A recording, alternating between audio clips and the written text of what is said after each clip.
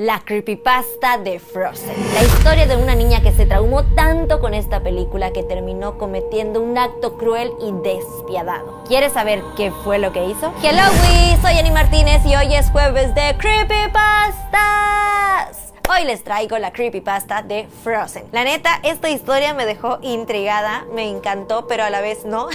no sé, está como mediano, me desesperó, es como... Tienen que verla, tienen que verla, así que por eso voy a empezar a contárselas ahora. Empecemos. Sandra era una niña de 11 años que era súper fan de Frozen, le encantaba todo. Tenía su cuarto lleno de pósters, de juguetes de la película y se la pasaba todo el día cantando una y otra vez las canciones de la película. Como era diciembre, los alumnos más grandes de su escuela decidieron presentar la obra de teatro de Frozen. Pero quisieron hacer una versión más terrorífica. Navidad con terror es un poco extraño, pero es una buena idea. No lo sé, díganmelo ustedes. Siguiendo con la historia, cuando Sandra se enteró, obviamente se emocionó y dijo, yo quiero estar ahí. Así que el día de la función llegó súper puntual para ocupar su lugar en primera fila, como toda una super fan. Una vez estando ahí, esperó y esperó ansiosa a que comenzara. Cuando la obra inició, Sandra se dio cuenta que la historia era muy diferente y que Elsa era una villana. O sea, sí tenía sus poderes para generar hielo, pero los usaba para hacer cosas perversas. Por ejemplo, si recuerdan la película, al inicio hay una escena donde Elsa accidentalmente lastima a su hermana Ana. Y eso lo hace mientras juegan. Sin embargo, en la obra ella lo hace a propósito. Elsa estaba celosa pues sentía que sus papás querían más a su hermana y le enojaba que la consintieran tanto. Por ello, cuando estaban solas, Elsa intentaba hacerle daño a Ana. Y como ella quería muchísimo a su hermana, prefería no decir nada, quedarse callada para que no la regañaran y tampoco la castigaran. Pero un día las cosas se salen completamente de control. Elsa hiere gravemente a Ana y en ese momento sus padres deciden separarlas. En esta versión, un cura salva a Ana y le borra la memoria para que no odie a su hermana, porque cabe recalcar que todos creían que había sido sin querer. Como Elsa era muy astuta, aparentó estar preocupada por su hermanita y dejó de utilizar sus poderes por un tiempo.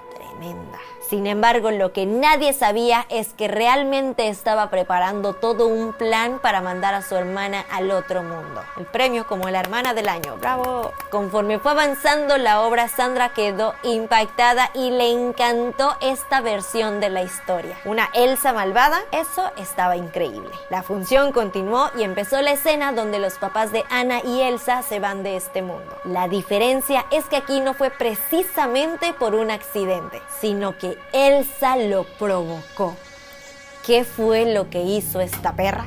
¿Qué fue lo que hizo? Los papás de las niñas suben al barco y cuando ya había avanzado bastante, Elsa congela al capitán y a la tripulación con la intención de que nadie pueda sobrevivir. Elsa había logrado la primera parte de su plan, deshacerse de sus padres. Ahora era el turno de Ana. Todo iba saliendo de acuerdo a su plan, hasta que un día llegan visitas al castillo y es en ese momento cuando Ana conoce a Hans, de quien se enamora profundamente. Obviamente eso no le gustó a Elsa para nada porque pensó, otro que se va a interponer en mi camino. Pero descubre que Hans tampoco tenía muy buenas intenciones que digamos. Entonces elabora un plan aún peor. Primero finge estar enfadada y se va del palacio. Ana, como buena hermana, obviamente sale en busca de ella, pero acaba perdiéndose y después de mucho tiempo, al ver que no regresaba, Hans sale a buscarla. Cuando Ana por fin encuentra a Elsa, lo que ella hace es congelarle el corazón a su hermana y encerrarla en un cuarto. En teoría Hans podría liberarla porque supuestamente el hechizo se rompía con amor, pero Elsa sabía que a Hans no le interesaba para nada salvar a Ana. Hans regresa al castillo y como Elsa le había contado lo que había hecho y cuál era su plan, juntos inventan una historia para contarle a todos qué es lo que le había pasado a Ana. Mientras que del otro lado la pobre Ana pasa sus últimos momentos sola, sintiendo cómo su cuerpo se va congelando lenta y dolorosamente, hasta que un día pierde la batalla y se va de este mundo.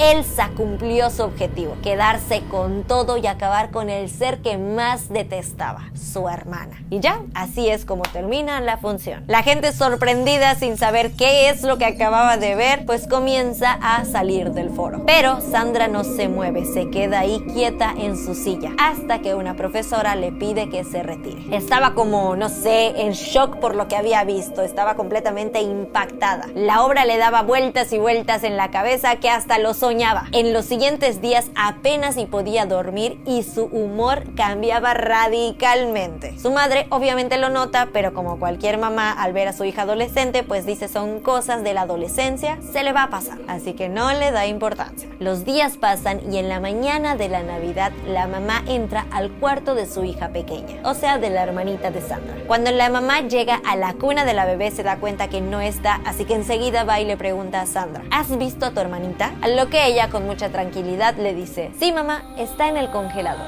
Le he hecho lo mismo que Elsa a Ana. ¿Qué? Y así es como termina la historia de hoy. ¿Están impactados? Porque yo sí, qué pedo. He contado muchas creepypastas y hay unas que me dejan intrigada, hay unas que me gustan, pero esta me dio como un poco de ¿Qué?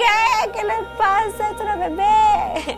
No puedo con esto, pero qué bueno que solo son historias inventadas en internet y que yo solo vengo a contarlas. Esto no pasó en la vida real y qué bueno, gracias Jesus. ¿A ustedes les gustó esta creepypasta? ¿Les dio miedo? Recuerden que todos los jueves son de creepypastas. Por cierto, no les había estado subiendo videos nuevos porque estaba de mudanza y este es el nuevo set. Bueno, es lo que estamos armando ahorita, así que déjenme aquí abajo si les gustó, si tienen alguna idea de set y si también quieren que les haga un house tour, también déjenmelo aquí abajo. No se olviden que antes de irse tienen que darle manita arriba, suscribirse si aún no lo han hecho, activar la campanita para que no se pierda ninguno de mis videos y dejarme aquí abajo de qué creepypasta quieren que les hable en un próximo video, de dónde vienen, de Facebook, de TikTok, de dónde me conocen y también si quieren que les hable de alguna otra cosa que no sea creepypasta, de alguna teoría, no lo sé, lo que quieran, déjenmelo aquí abajo y por aquí platicamos. También pueden seguirme en todas mis redes sociales como Ani Martínez, Instagram, Facebook, TikTok y donde quiera. Ahora sí,